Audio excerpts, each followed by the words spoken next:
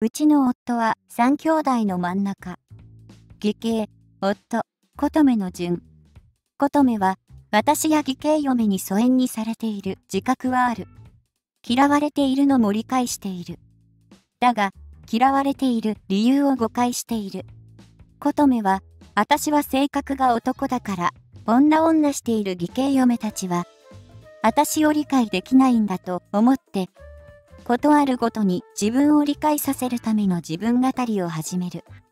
でも、それ違うんだ。私や義兄嫁が琴女を避けるのは、琴女の、昔は私もやんちゃしててねで始まるドキュン話にうんざりしてるからなんだ。しかも琴女は、真面目に勉強して良い大学を出てる奴らよりも、やんちゃしてた自分の方が人生を知ってる分、賢いし偉い。